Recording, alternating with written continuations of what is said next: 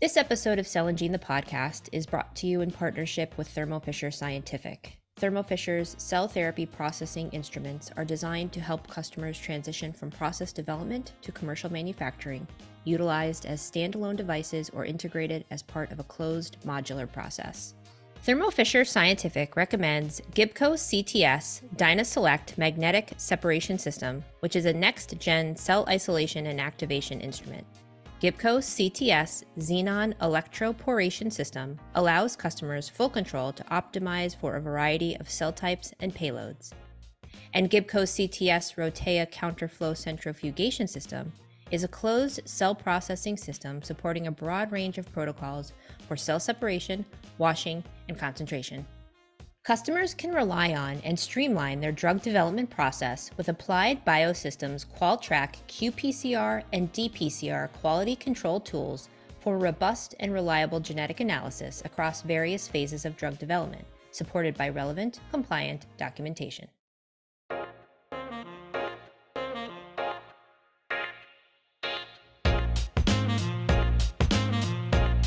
Listeners, and welcome to this episode of Cell and Gene, the podcast. I'm your host, Erin Harris, and my very special guest for this episode needs no introduction, but I shall do my best to introduce him to you anyway Dr. Peter Marks. If you plan to Google Dr. Marks, be sure to set aside some time. His CV is both impressive and extensive. Dr. Marks is a hematologist, oncologist by training, and he is serving as the director of the Center for Biologics Evaluation and Research within the Food and Drug Administration. He joined the FDA in 2012 as Deputy Center Director for CBER and became Center Director in 2016. Welcome to Cell and Gene, the podcast, Dr. Marks. It is my sincere pleasure to have you as my guest. Thanks so much for having me. You're welcome. So let's jump right into our question set. So you joined the FDA in 2012, like we said, as deputy center director for CBER and became center director in 2016. So, specifically regarding cell and gene therapies, what has changed most during your tenure? Yeah, well, I think most obviously is when I came to the center, um, chimeric antigen receptor T cells were uh, really in their uh, heyday of development, but there was nothing approved in the way uh, of a genetically modified cell therapy uh, and there was not a gene therapy approved. Um, uh, then we started to have a run of uh, approvals that started uh, mid decade. And uh, uh, we, at this point, um, have 11 approved cell or genetically modified cell or directly administered gene therapy. So, um, really, a change from going from a time of potential uh, when things were in development to uh, a time of reality. Um, uh, and uh, right now, I think we're sitting on a, a large growth curve.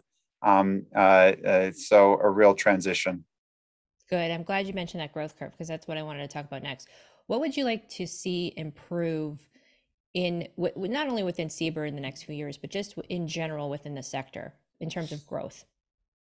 So I think there are things that we can do at FDA and there are things that the sector can do. The things that we can do at FDA, I think, um, is to staff up in order to provide uh, the uh, feedback to sponsors, particularly early on, that they really need in order to get off to a good start on their development programs. Um, and although I think we give very good feedback, it has not always been as timely as at least I would like to see it be. Um, and uh, that's because of resource limitations and also because of what intervened with the COVID 19 pandemic. But um, thanks to uh, the user fee reauthorizations, we are staffing up uh, in uh, those who uh, work on cell and gene therapy in the agency by a significant number of, of individuals. and as those people come on board, I think we'll be able to get back that feedback more rapidly. From the standpoint of industry, um, and product developers, I think um, this is a field where um, more so than in the small molecule development world, where any one small molecule's chance of success was never all that great. Um, uh, here, um, uh, people need to plan for the possibility of success, which means that from the beginning, they need to figure out how they are going to manufacture and characterize their products. Uh, and hopefully that will improve over the coming years because I think as we see um, products coming along, um, uh, that we don't want to see them hindered uh, by problems uh, with manufacture uh, that might limit their ability to make it uh, to the benefit of patients. Yeah, sure. That makes a lot of sense. And um, I do want to talk a little bit about you mentioned staffing at CBER and and what came out of the entire, you know, most likely PDUFA seven. Um, and due to the pandemic, you know, CBER of course had to shift its focus to vaccines needed to, to combat COVID nineteen. Obviously, um, there were a few key provisions of PDUFA seven, and one of them is a budget and staffing increase for CBER.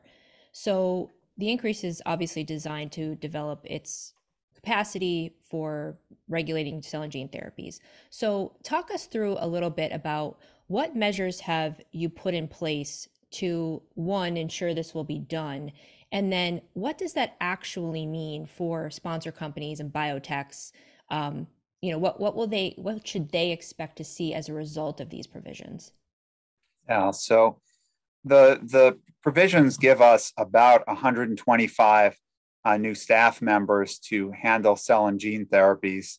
Um, uh, and uh, 100, about 100 of those will go directly to the, uh, to the cell and gene therapy uh, office, and the remainder will be going to support offices, those who help uh, do the, the biostatistics that need to be done, um, and the inspections and the support work. Um, the important thing to understand is while we're doing this, this you can see with that many new people coming on board, in addition to those already on board, we recognize that we needed to uh, probably uh, get things organized a little bit differently. And because of that, we've undertaken a reorganization where uh, what is currently our Office of Tissues and Advanced Therapies is becoming a structure called a super office. Uh, it's uh, essentially uh, going to uh, become the Office of Therapeutic Products. That super office will have uh, uh six different uh, other offices, sub offices under it, um, which will uh, allow it um, to cover cell therapy, gene therapy, and other therapeutics in a more comprehensive manner in each of the offices. Um, and so I think that will be helpful because there will be it will industry will know who's focusing on what. Um, uh, and over that now um, uh, as the we will have an, uh, an acting head of this area um, who will uh, help ensure uh, that we bring on the resources that we need. Um, and we will have a bit of a hiring frenzy um, as we as we come into the new year as we staff up um, uh, all of these different offices. So um, you can expect to see us um, uh, advertising in journals, um, on websites, um, uh, and through word of mouth to try to uh, staff up here. Uh, and we'll also use uh, search firms, et, et, cetera. We, we will use all of the tools and techniques that we can to try to get staffed up as quickly as possible. Yeah, sure, to hire the right individuals. That's fantastic. And I love the term super office. I don't think I've heard that before. That's really exciting. And I'm, I'm happy not only for you and your team, but also for the companies who are going to be the recipients of all that good work. Um, I want to talk a little bit about there was obviously life before the pandemic and life now. So, what learnings would you say that the pandemic granted to you and your team that you might be able to apply to cell and gene therapies going forward? Yeah. So, um, you know, our center was uh, very much involved in some of the critical pandemic products um, uh, moving along, including vaccines. Uh, and uh, uh, one of the the kind of the deep learnings that came from that um, uh, was that the communication process is really so critical to expediting development. And so what I would see and what I'd like to see coming out of this pandemic is uh, as us exploring ways of increasing uh, communication uh, on a uh, uh, on a more informal type of uh, meeting basis than we have done in the past. So we have obviously formal meetings, type A, B, C meetings that we have with companies, but those have uh, lengthy timelines. They require very formal packages. And I think, you know, for uh, products that are uh, being developed to meet the needs of small uh, populations, um, uh, particularly of people with serious illnesses that are being developed by small companies, waiting two, three, four months to get responses um, really does slow down the process um, uh, in multiple ways because it also burns cash for these companies, um, delays getting uh, uh, things to patients in need. And so, if we can find a way to um, have more informal uh, conversations during development, I think that might be very helpful. That certainly worked um, as something that helped facilitate development uh, of the vaccines uh, and certain other medical products during uh, the COVID 19 pandemic. And so you, might see us try something like some pilots uh, where we um, uh, will uh, take products that are already seem to have some promise and, and see if we if, the, if those developers are interested in participating in pilot programs where we uh, allow for an increased level of communication on an informal basis to see if that actually makes a difference. We'd obviously be measuring what we were doing uh, in order to uh, see if uh, giving this additional communication actually uh, brought uh, perceived and or real benefit to the product development process. Good, yeah, and, and obviously communication being a critical component of any successful endeavor but you know sometimes you do have to pay specific attention to it to ensure that it's being done properly and formally or informally so that's really good news um, speaking of development i wanted to talk a little bit about innovations in what you see coming down the pike in clinical development so what would you say are maybe the, the top areas of innovation in the next three years whether it be in gene editing, cell based gene therapies. Um, what do you see, without being a futurist, what do you see in the, the top areas of innovation? Yeah, I think I think there are. I'll, let me pick two. One one more on the cell side, one on, on the gene on the gene therapy side. Um, uh, uh, uh, uh on the on the more pure directly administered gene, gene therapy side. So I, I think on the cell the the, the cell based side or the genetically modified cell based side, I think the the the, the development into a reality of allogeneic uh, chimeric antigen receptor T cells um, is probably uh, going to be a, a, potential game changer. Don't know for sure, but it looks uh, to me as uh, that that it, it could be. Why? Because the ability to have something that you could take off the shelf without having to harvest from uh, people potentially could do two things. First of all, it could allow you um, to salvage more individuals um, who might have advanced disease, who couldn't make it through uh, a harvest procedure for one reason or another. Additionally, though, an off the shelf product may also allow these products to be studied earlier on uh, in the disease process, um, potentially um, uh, for mopping up residual disease, which perhaps immune therapies might do better uh, than uh, for bulk disease, um, or they almost certainly probably do. Um, and so uh, I think that will be an exciting uh, development. The other advantage to these uh, genetically modified allogeneic uh, CAR T cells is that because you're doing something for a, a product that will ultimately be used to treat 50 to 100 different individuals, uh, with your genetic modifications, um, uh, at least if you're using uh, uh, uh, cells that are harvested um, from an individual as opposed to other ways of doing it. Um, you can make more genetic modifications, and that also may open up these chimeric antigen receptor T cells to better addressing solid tumors, which has been a challenge to date.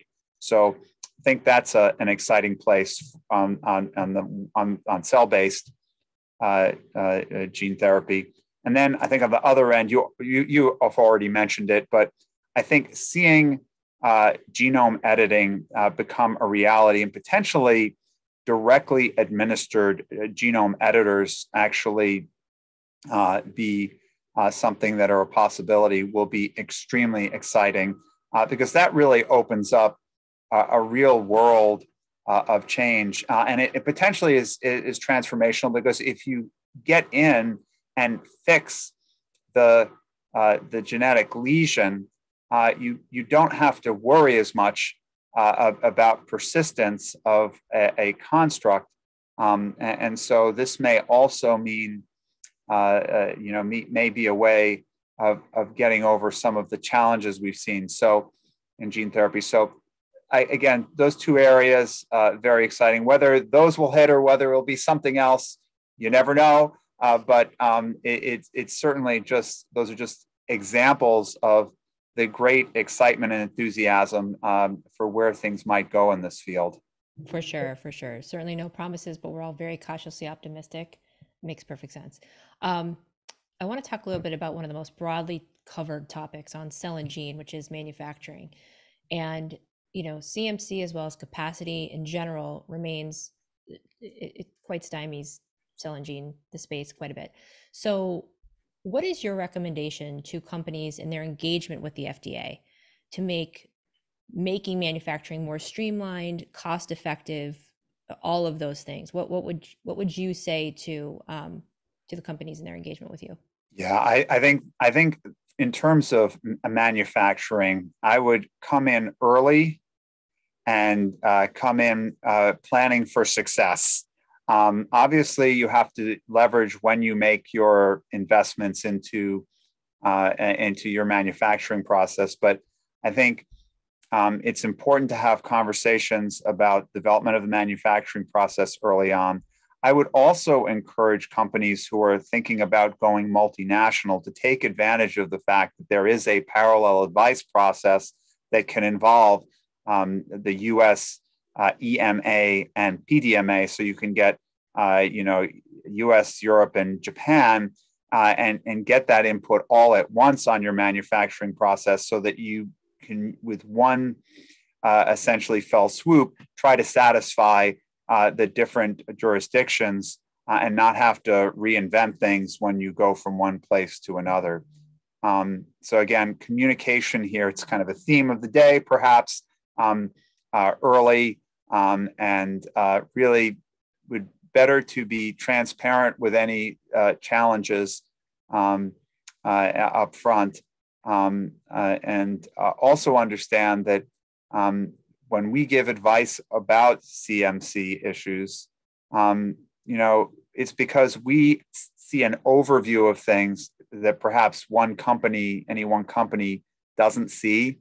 and so sometimes I think uh, we get a little bit challenged on some of the advice we give. Feel free to challenge us. It's true. Please do challenge us. But uh, sometimes the reason why uh, we give certain advice is because uh, we have the experience from looking at a broad portfolio of gene therapies that anyone uh, anyone sponsor just can't see, and we can't tell you why we know what we know because we can't disclose the sure. contents of a uh, of of someone else's investigational new drug application to a different uh, sponsor um, uh, uh without express permission. So, um, but we can use the experience we've gained. Sure. Uh, quick question for you, uh, and I whenever I talk to my guests on the podcast about manufacturing, and everyone always says starting early, but I would love to hear from you specifically, the expert. When you say early, what do you mean? When do you mean? When do I mean? I would say that uh, as you are uh, as you are moving, so so if you've not made any gene therapy to doses to actually treat humans, uh, that might be a good time. Or if you've made gene therapy doses to treat a handful of humans, um, but are now scaling up to treat uh, more, those are the times to do this. The time probably not to do this uh, is when you're in roller bottle culture, um, making you know doses for 20 or 30 people and then uh, decide, well, maybe we should now go to tanks uh, later on, uh, because by then you really, I mean, you may have to come in at that time, but it's probably better to have a discussion early on because there are probably some ways of scaling up that are easier than others. And it, it may be worthwhile having that discussion of, well, we're going to study this in 20 people, and then we think that we're going to scale up to need 40 doses a year. That would give us very different, you get very different feedback if that was your plan, rather than, oh, we're going to study this in 20 people per year. But ultimately, we want to use it in a thousand people per year.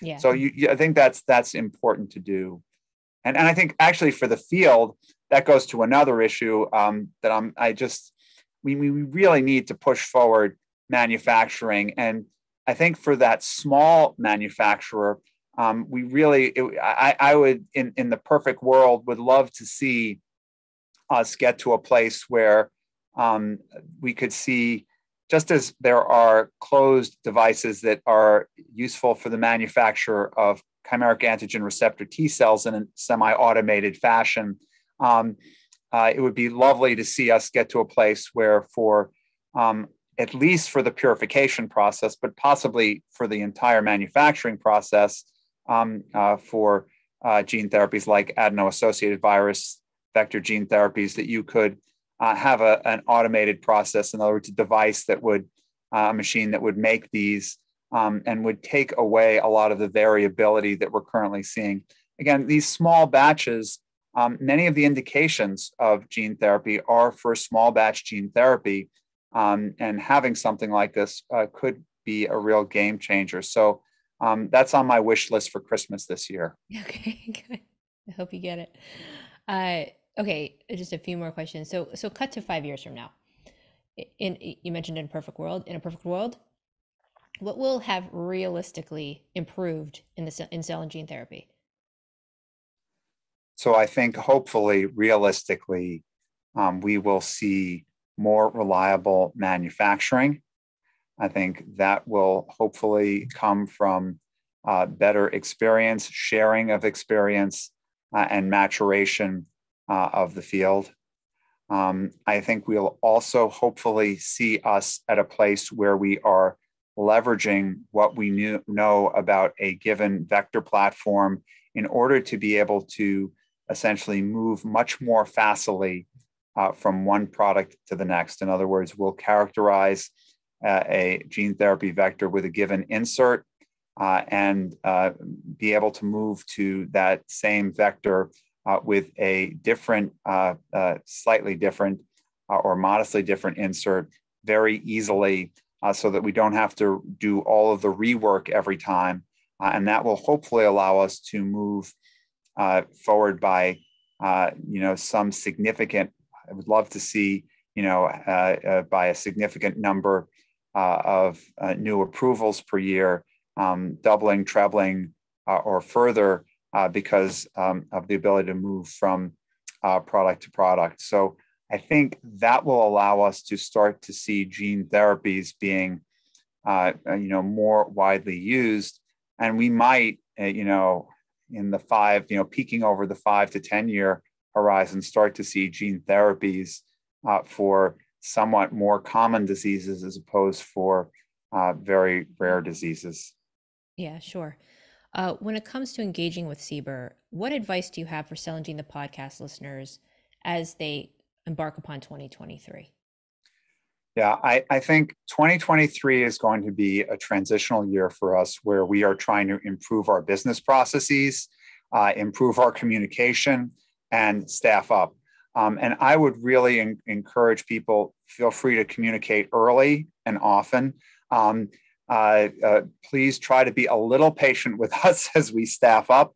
Um, but that said, um, uh, I think we really look forward to engaging here um, uh, because this is really a very exciting time, uh, and we'll look forward to uh, to working together. Look out for um, uh, uh, potential meetings, workshops, and pilot programs that we hope to um, have coming out possibly in the second half of the year as we kind of come out of the initial stages of our reorganization.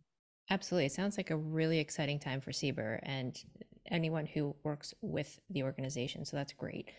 Um, we've reached the formal end of our podcast. And at the end of uh, my every episode, my listeners know I like to ask a question of my guests to get to know who they are when they're not in the office of the lab. Uh, and so my questions for you are what does Dr. Peter Marks do for fun? What what can we find Dr. Peter Marks doing on his off days? Uh, so probably my greatest passion is I love sailing, uh, and uh, it's a little cool for sailing right now. Um, uh, but uh, I, I, absolutely uh, find that it's one of the things that just makes me my blood pressure go down and just feels so good doing. So uh, that that's what you could find me on a weekend day during the summer. In the winter, you'd probably see me working on my boat. So that's still also very enjoyable. That's amazing. That's what a what a fun passion, and uh, you know, I, I suppose now you're starting in on the time of when you're working on the boat. That's exactly right. time to scrape some paint and uh, get things ready for next season. Good.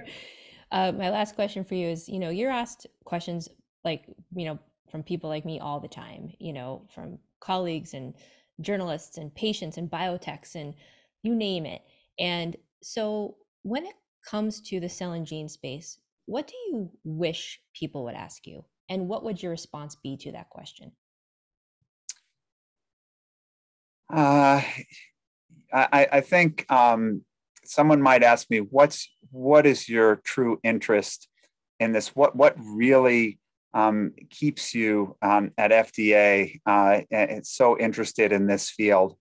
Um, and I think I'd answer that question by saying that um, it's an area of such tremendous potential, but it will only um, see its realization if we hold it to rigorous scientific principles uh, and if we hold ourselves to making sure that what we do uh, we do carefully um, so that the products that ultimately emerge are, are safe, effective, and they bring a great deal of value uh, to those in medical needs. So that's what keeps me um, uh, going in this field. And I, I, think it's actually what's shared by a lot of others um, uh, who are uh, trying to develop products in this space. So I, I think that's that's to me a, I guess the question I'd ask and answer. well, good, good. And, and thank you for that thoughtful response because we're, everyone listening to this podcast, podcast and myself included, are very, very thankful you're the one leading CBER both now and into the future. So that's great. All right, listeners, that wraps up this podcast, this episode, excuse me, of Cell and Gene, the podcast featuring Dr. Peter Marks. Dr. Marks, thank you so much for your generosity and your time and your willingness to share your insight with us. This was a this was great. Thank you so much for having me today. Absolutely. All right, listeners, be sure to visit cellandgene.com, register for our e newsletter, and tell your colleagues to subscribe to Cell and Gene, the podcast as well. Thanks for listening, and we'll talk to you soon.